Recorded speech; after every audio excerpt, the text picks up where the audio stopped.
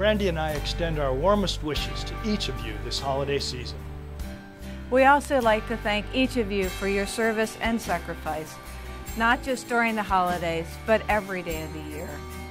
During this joyful season, we remember the men and women deployed around the globe.